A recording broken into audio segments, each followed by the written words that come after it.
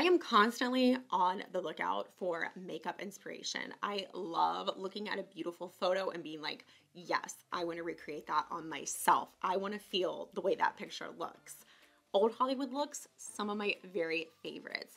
But I often find that classic old Hollywood looks tend to look kind of more like fall or winter. So I went on the hunt for the perfect old Hollywood spring makeup inspiration. And I found this. January Jones at the Golden Globes a few years ago. It's an absolutely iconic look from an absolutely gorgeous woman. And I thought, you know what? Her hair color is similar to mine, her skin color is similar to mine. I could recreate that and that would be perfect for spring. And hello, I was right. This look is classic Hollywood at its best, but fresh and a little bit corally red so that you have a nice spring look going on.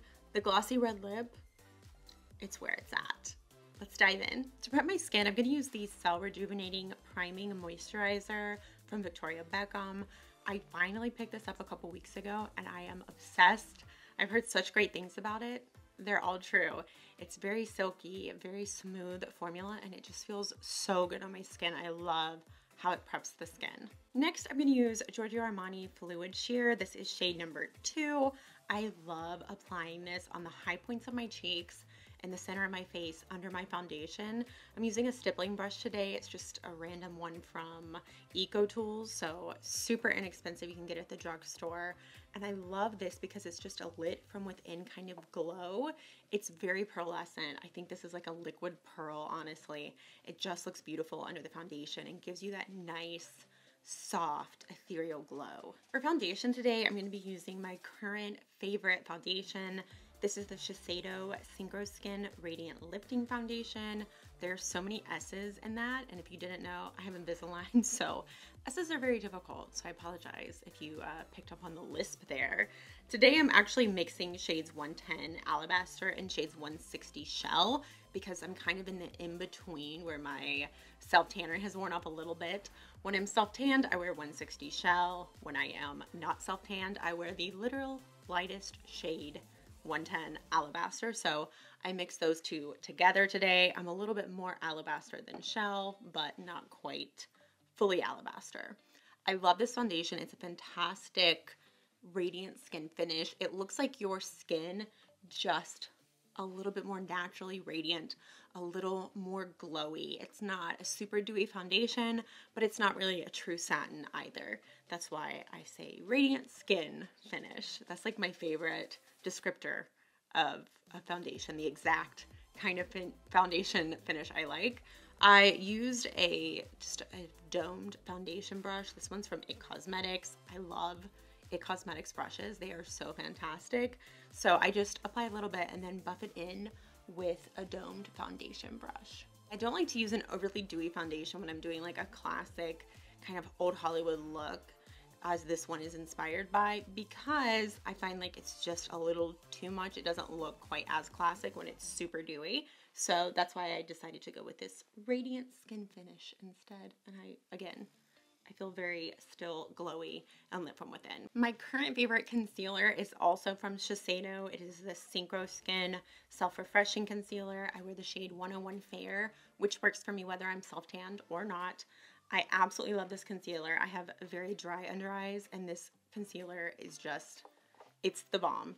It brightens up my under eye, does not crease, and it doesn't dry me out. I don't get those little flaky dry patches under my eyes. So I really appreciate this concealer. I also put a little bit on my lids to prep those.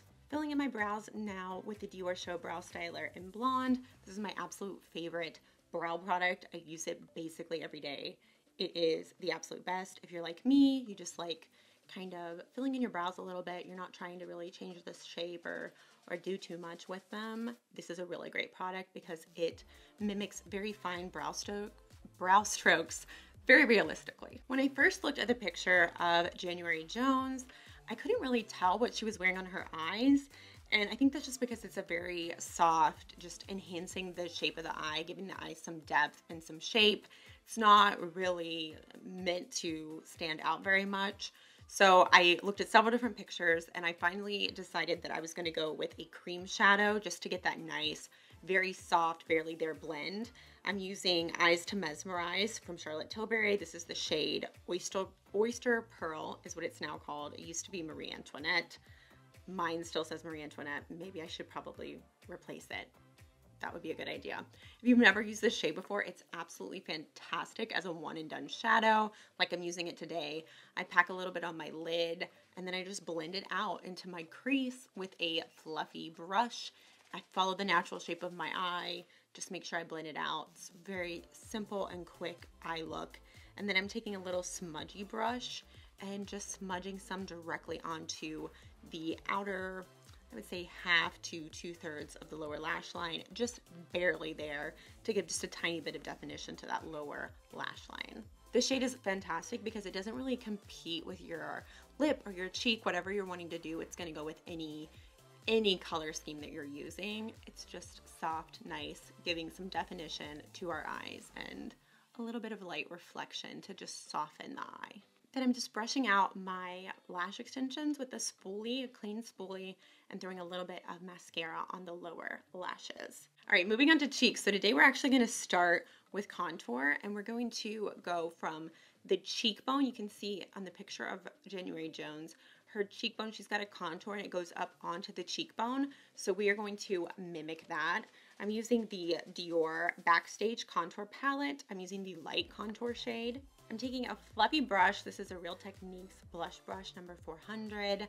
I'm gonna set the bottom of this brush in the hollow of my cheek and then blend up onto the cheekbone. So a little different than how I normally do my contour or bronzer.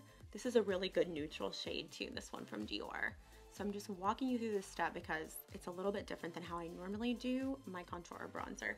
So now you can see that technique gives us that nice defined cheek, but we've gone up onto the cheekbone as well rather than keeping it all in the hollow, which is just a nice soft kind of draping effect. Definitely use a very fluffy brush for this because that's gonna keep it where it's not too harsh, not too crazy. I'm also going to contour the jawline just a touch as well. I do want a little bit of color on the cheeks. We're going for spring, so for me, coral is like the spring color. It's just one of my favorite, most flattering shades. I'm gonna be using Nearly Apricot from Rare Beauty. This is their Melting Cream Blush. These blend out beautifully like a absolute dream. We're gonna go in very lightly with this. We just want like a little pinch of color right on the very top of the cheekbone. I put it on with my finger and then blend it out with a little damp sponge, beauty blender-esque thing. This one's from Real Techniques. The glossy red lip is the real star of this look, so that's why we want just like a pinch of color to the cheeks. We don't want to leave it without any color because if I do that and then put on a red glossy lip, I'm not going to look balanced but we just want to go very softly to balance out that glossy lip that we're about to put on. All right, now for the star of this look, the glossy red lip. Now, January Jones originally used a lip gloss from Chanel that I used to absolutely love, but it is now discontinued. They don't make that formula anymore. So I went looking for something similar and I found this gloss from Dior that I'm absolutely in love with now. This is the shade Dior Fire in the Dior Addict Stellar Gloss. It is so beautiful. And it's such a quick and easy way to get a red lip. And the gloss just freshens it up and makes it so springy. For me, this is the perfect opacity. I absolutely love this. I love that it will wear off really evenly and I can just reapply without much thought. If you would like it to be a little more opaque, a little more bold, you could absolutely use like an orangey red or corally red lip liner first and then apply the red gloss. But for me, this is perfect. It feels very fresh, feels very balanced, and it's polished and old Hollywood without looking too dressed up. This is something you can definitely wear day to day without looking like you, you know, are going to some kind of gala. But you could also wear it to a gala. So, I mean, it's very versatile. To finish the look off, we're using the Dior Backstage Glow Face Palette. I am just mixing the two lightest shades and putting them on the very tops of my cheekbones.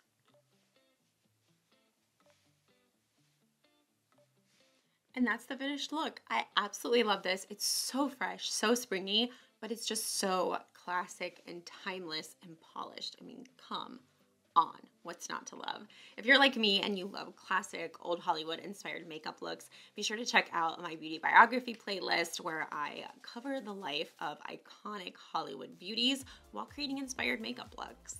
I hope to see you in my next video. Until then, you take care of yourself.